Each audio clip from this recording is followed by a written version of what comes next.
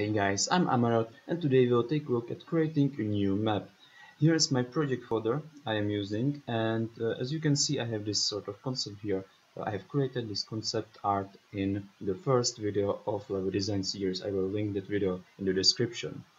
Uh, it doesn't matter what kind of concept you have, still you need to have some sort of concept, some sort of idea how big your map will be.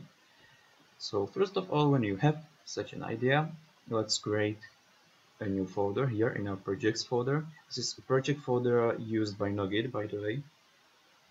So let's make a new folder here and it will be world folder and let's make db files client folder if you don't have it here already from dbc tutorial.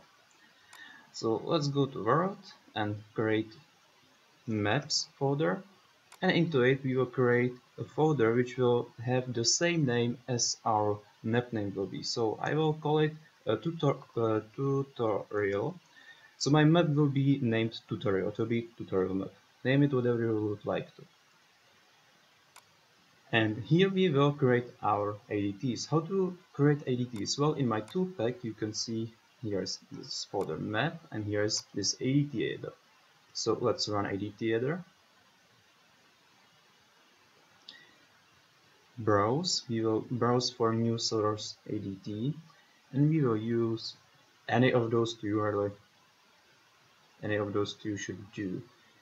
I tend I prefer to use uh, the, sec the second one the smaller one this one. Now a map name will be tutorial in my case and ADT from ADT2 uh, these are corners of uh, of our map uh, corner coordinates. Those coordinates must be between 0 and 63. So both of all all, four, all four of these numbers need to be between 0 and 63.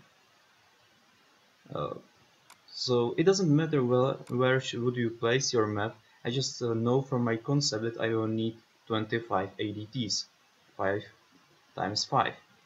Okay, so let's say that we will place uh, upper left corner in 15 15 and this leaves us with 1919 so these 25 ADTs will be my square map. Uh, how to determine where should your map be placed? It doesn't really matter.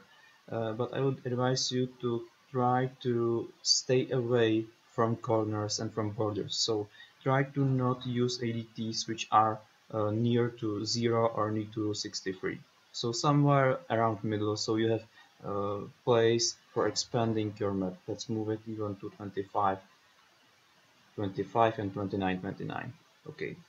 So click on start creation and it will just generate your ADTs so as you can see now when it is done finally I've got my 25 ADTs here now you will just need to run this offset fix uh, dot embed file. Just run it and it will fix offsets of all ADTs.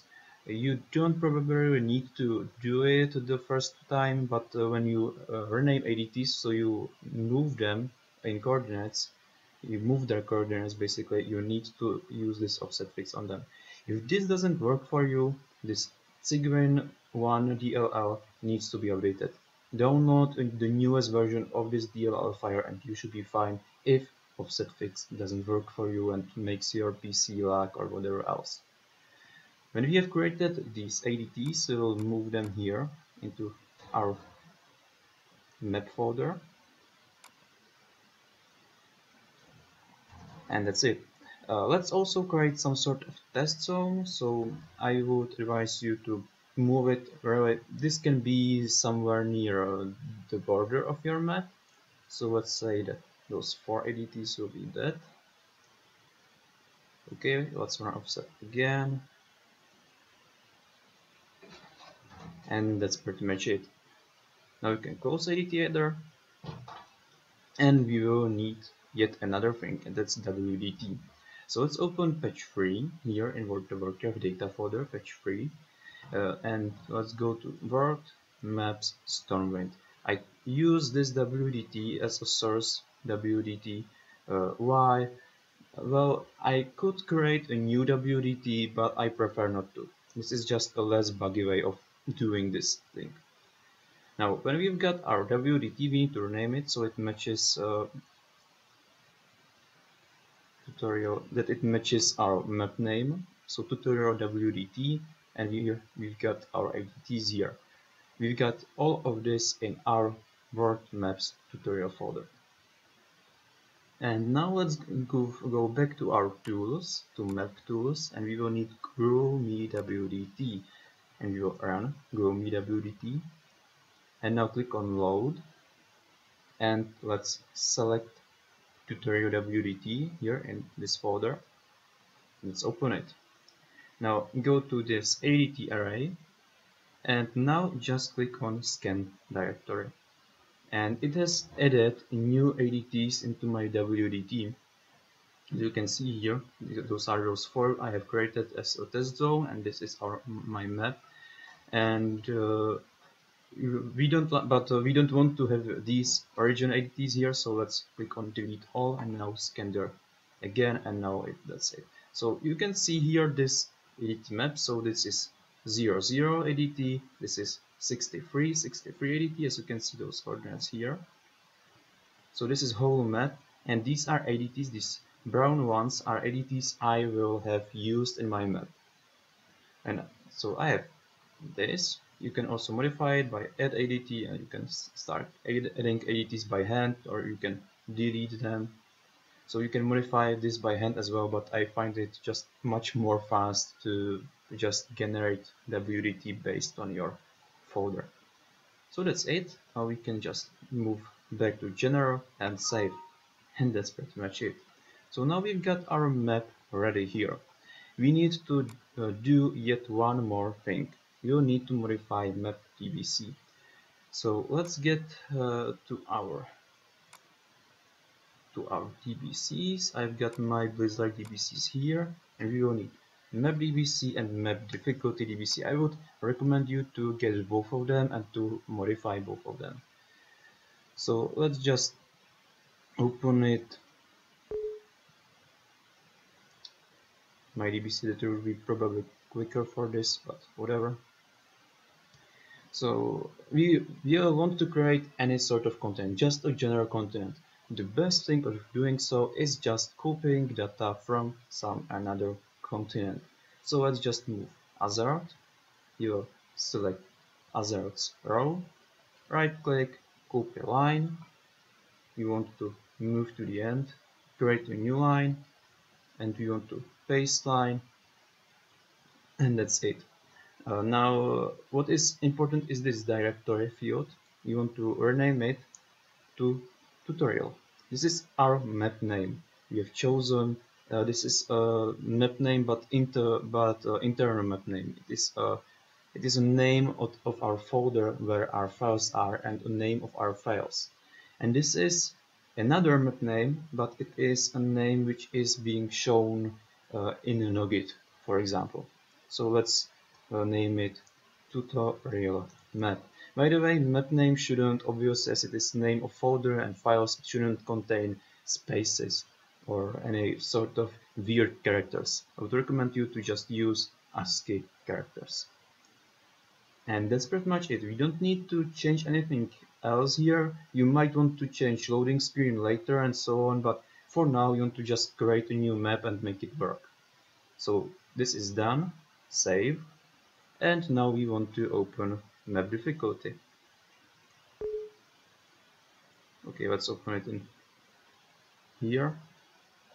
And map difficulty uh, we want essentially to do the same. Let's uh, here's a difficulty entry for our Azeroth map map so map sorry. So let's just copy that.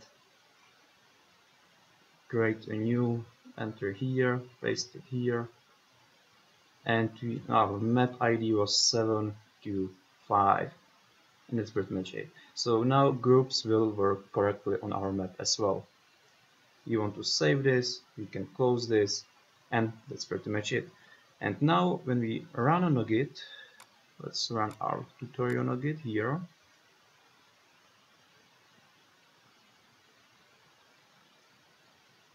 here's our tutorial map now you can now find it in continent because we have created it as a continent map.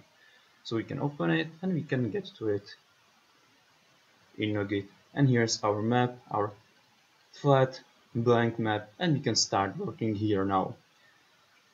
Now if you would like to expand your map it is actually quite simple as well or if you would like to change its size overall uh, you can always simply just go to your tools map tools uh, grow me WDT and you would like to again load that WDT go to ADT array and you just add some ADTs or remove them from here. Uh, just one important note. Uh, World of Warcraft game client will attempt to load only ADTs which are in WDT, which means that if you create a new ADT, for example 24, 24 ADT, this one, and you, uh, if you don't uh, uh mark it in, the, in a WDT as well, it won't get loaded in game. Players won't be able to see it. On the other hand, if uh, I would just mark 24, 24 ADT here, now it is marked, and I, uh, if I don't create that ADT so it doesn't exist, game will crash. It will say that uh, ADT couldn't be found and it will just give me error and crash. So uh, make always sure that your uh, WDT is up to date. Just a security note, you can use this uh, for to your advantage and you can have a version of your patch if you have a public private server you can handle to players only WDTs which don't have uh, test zones in them. So I would advise you to create your own custom uh, test zones and uh, add them only to your personal WDT, only to WDT in patch you are handling to your GM team and to your developers. And don't give uh, those ADTs or especially the WDT to players. So when players have, players would have just a, a smaller part of map in their client and they won't be able to even see your test zones, which means that uh, if they uh, manage to hack to your test zones, they won't be able to see ADTs, they won't be able to uh, steal some things from test vendors and so on and so forth. Just a little tip. By the way, uh, deleting some ADTs obviously would just delete them from WDT and then you will just delete them from here. How to, uh, well, how to get these uh, to your MPQ, it's rather simple. You would just create your MPQ, HA and you would just make sure that you have your DBCs here. Your map is here as well. And now you would just insert those DBCs into your server's DBC folder as well to let server know that this map is here.